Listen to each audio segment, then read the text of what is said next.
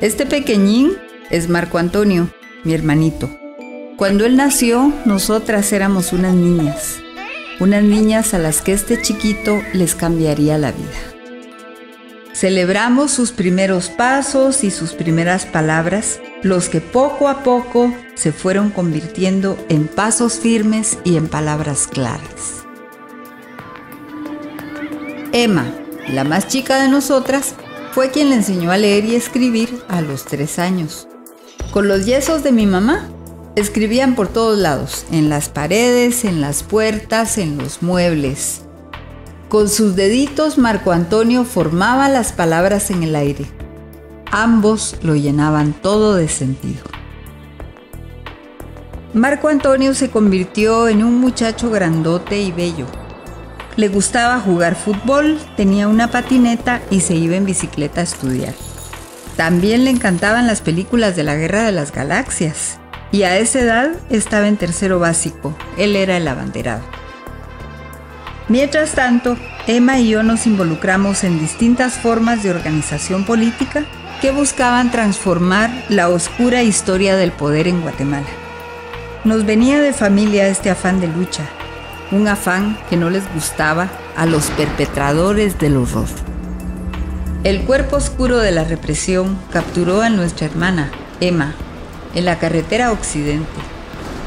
Ella fue llevada al cuartel militar de Quetzaltenango, donde durante nueve días fue torturada salvajemente, violada innumerables veces y sometida a frío, hambre y desvelo. El horror volvía a golpear a nuestra familia. Muchos años antes había atormentado a papá y desaparecido a nuestro tío. Y todavía faltaban muchos golpes. Pero fíjense que Emma es fuerte y valiente. No solamente soportó los castigos despiadados, sino también se mantuvo viva y escapó de la base militar. Cuando llegué ese día a contarles a la casa, era un alivio para todos saber que estaba salvo. ¡Qué busa mi hermana! Fue la frase de Marco Antonio.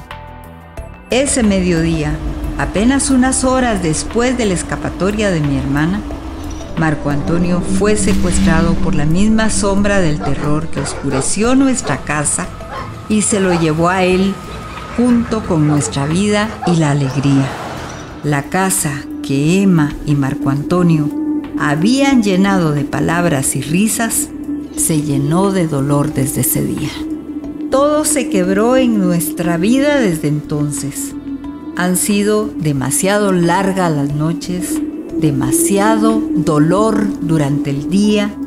Marco Antonio sigue desaparecido y hace más de 20 años, cuando dejamos de buscarlo, empezamos a buscar justicia y no descansaremos hasta encontrarla. Este niño que está acá es Marco Antonio, nuestro hijo y hermano.